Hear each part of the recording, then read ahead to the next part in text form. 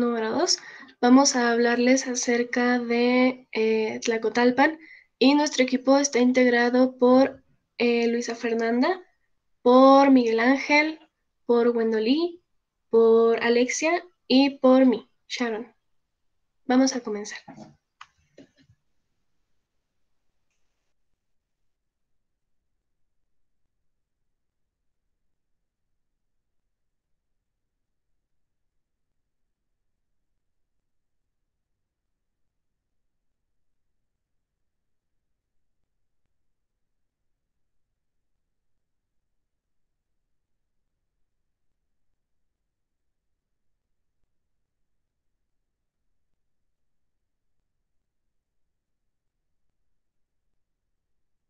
Estos son los puntos que estaremos abarcando a lo largo de nuestra presentación, temas tales como la historia del lugar, su ubicación geográfica, cultura, costumbres, su arquitectura, sus atractivos turísticos y un pequeño video que les dejaremos de referencia por si quieren eh, revisarlo para que se den una idea más, más gráfica perdón, de cómo es el pueblo.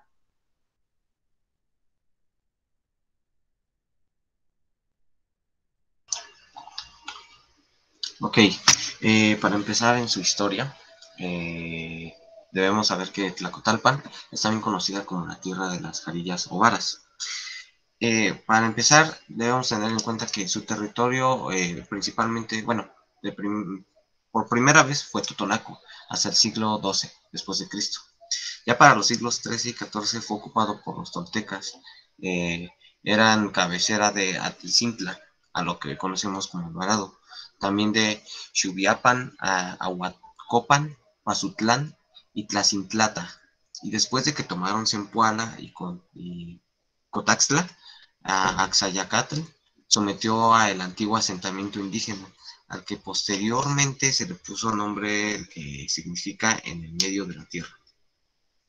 Cuando corría 1521 y ya con la conquista consumada, se le dio esta tierra a la familia del soldado Alonso Romero, como una especie de premio por su labor en la conquista, eh, para lo que la familia gobernó el lugar hasta mediados del siglo XVI.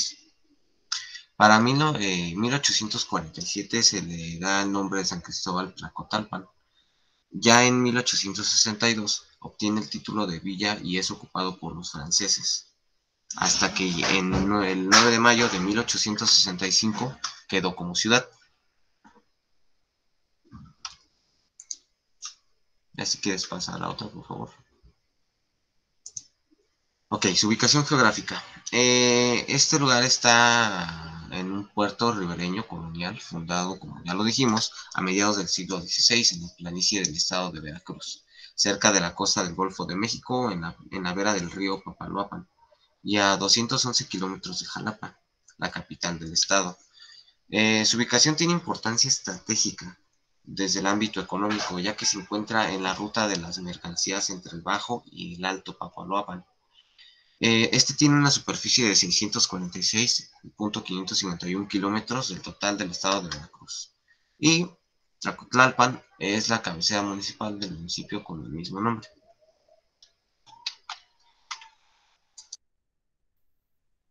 Ah, bueno, yo les voy a dar un poquito de la cultura. Eh, la cultura de Tlacotalpan eh, es un producto de la mezcla indígena, española y afrocaribeña que se refleja en su arquitectura, eh, la gastronomía, sus tradiciones y costumbres.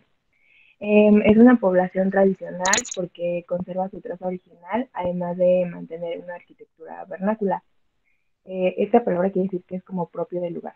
es un pueblo que se renueva día con día desde el siglo XVI, cuando fue fundado.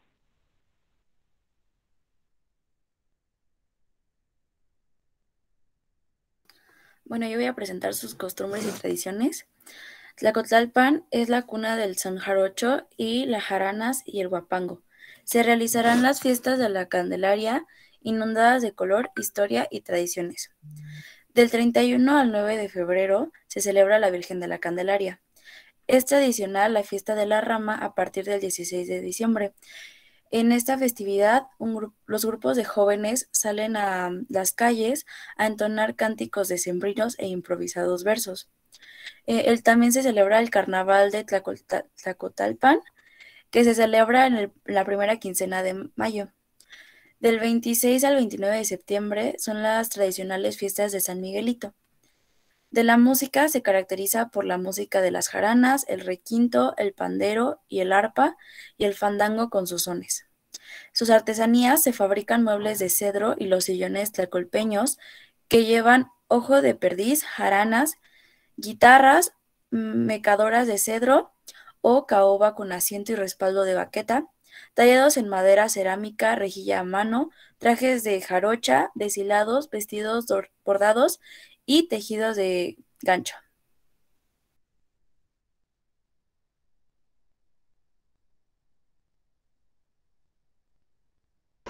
Acerca de la gastronomía, Tlacotalpan es un pueblo que se caracteriza por sus platillos de carácter marino, eh, como mariscos, principalmente, eh, bueno, provenientes de mar y también de río.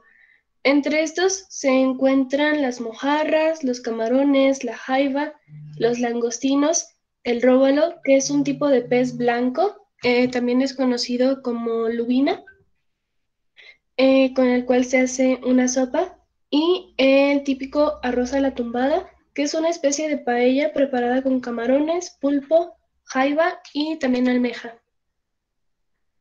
Además de esto se encuentran también los acosiles, que son unos crustáceos con forma de camarón y un tamaño un poco más pequeño de, un camarón.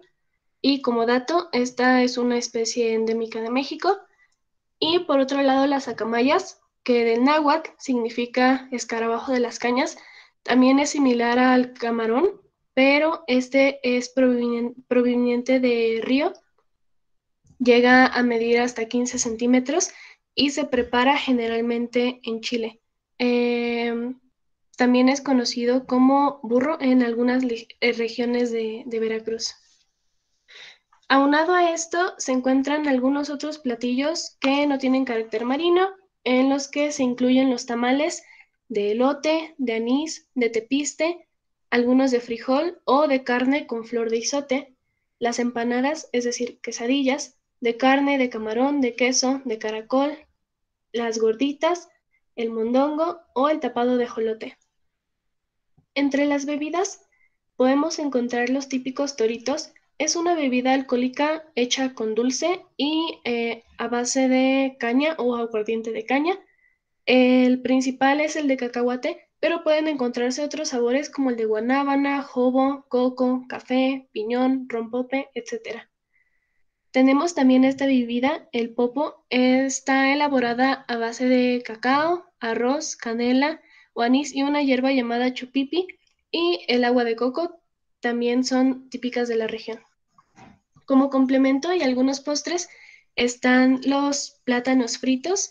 No son preparados generalmente como acá en el Estado de México o en la Ciudad de México o algunas otras regiones del país. Allá se fríen y lo único que se hace es cortar el plátano a la mitad, freír por los dos lados y acompañarlo con crema y con queso. Además de esto, existen algunos otros dulces típicos hechos a bases de, de almendra y entre muchas otras opciones que pueden degustarse.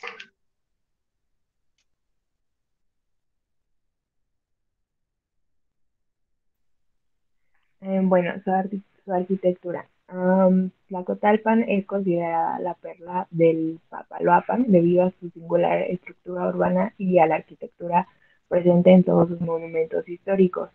Eh, ha mantenido un estilo neoclásico en sus construcciones que, datan del siglo XVIII y XIX.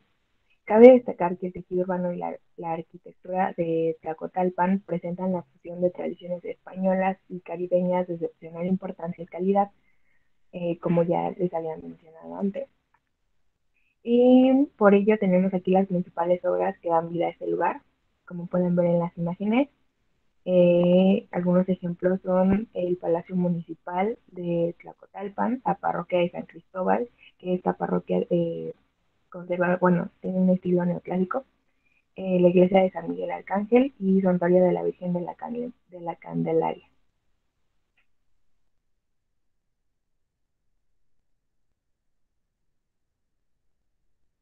Bueno, sus atractivos turísticos puedes dar un paseo en lancha en el río Papaloapan. En este paseo tendrás una perspectiva única de la ciudad y su arquitectura. Además, puedes observar la flora y fauna típica de la región. Después está el templo de San Miguelito o la iglesia de San Miguel Arcángel, la cual fue inaugurada en 1800 y hace honor al barrio donde se localiza. Cuenta con un estilo neoclásico y la singular teja caracteriza al pueblo. Eh, además cuenta con dos campanarios este, al frente. Después está la iglesia de San Miguel Arcángel, el cual es el templo más antiguo de Tlacotlalpan. Su construcción se remonta en el año 1785. En la iglesia de San Miguelito se celebra una de, las festividades religiosas más importantes de la ciudad desde hace más de un siglo y tiene lugar del 28 al 30 de septiembre. Después está el Teatro Nezahualcóyotl, el cual fue fundado en 1891 y durante este siglo Tlacotlalpan poseía el quinto lugar de importancia económica a nivel estatal, gracias a su tráfico marítimo y debido a las constantes presentaciones que se realizaban en la parroquia de San Cristóbal. Eh, Porfirio Díaz fue quien comenzó la construcción de este teatro. En la actualidad puedes pasar a tomarte fotos en este teatro sin necesidad de eh, asistir a algún evento. Después está el, el Parque Zaragoza, el cual es uno de los principales lugares turísticos de Tlacotalpan, ya que cuenta con una plaza con un hermoso kiosco y banquetas de mármol, así como una vista a los edificios más bonitos de la ciudad. Puedes comer antojitos como elotes y esquites, además de disfrutar de un tranquilo paseo a pie. Los sábados puedes este, apreciar el danzón, donde la gente baila y toca al son del jarocho. Después está el Templo de la Virgen de, la Candelaria, el cual fue construido en 1786 y fue el primer templo erigido de la ciudad, llevado a cabo por la divinidad de Pedro de Obando y Rivadaneida en 1776. En sus adentros podemos ver cómo se mezclan una serie de detalles neoclásicos con adornos de forma de domo y bóvedas, que le dan un toque muy característico. Esta iglesia debe su importancia a la Virgen de la Candelaria.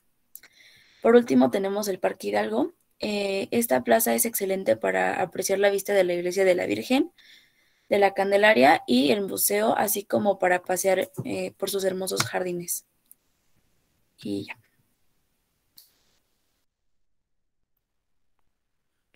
Bueno, pues eh, Tlacotalpan fue fue considerado Patrimonio de la Humanidad a partir del año 1998.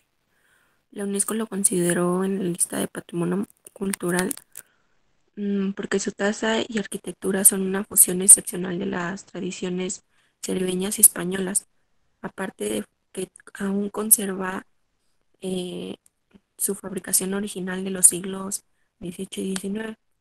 A eso le agregamos que la UNESCO a la UNESCO que Tlacotalpan es el conjunto urbano más armónico, homogéneo y bello de todo México.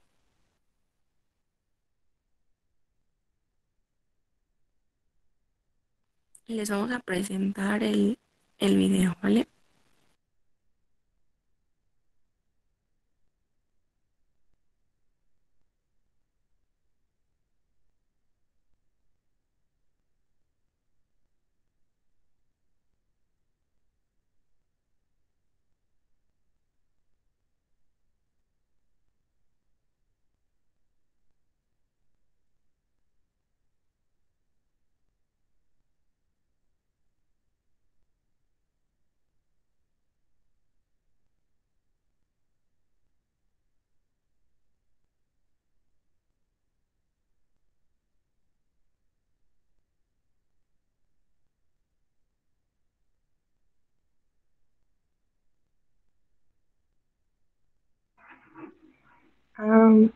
Voy a dejar de compartir lista para compartir también el audio.